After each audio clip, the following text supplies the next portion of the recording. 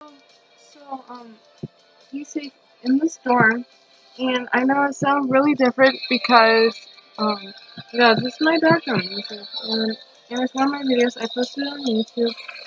Um,